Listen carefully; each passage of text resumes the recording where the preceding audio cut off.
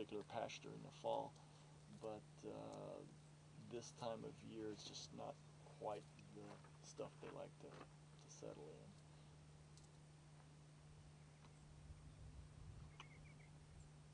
Does anybody have a Sharpie? Got a pen, with Now that's I say that, you'll probably see one. See, the only problem with this pen is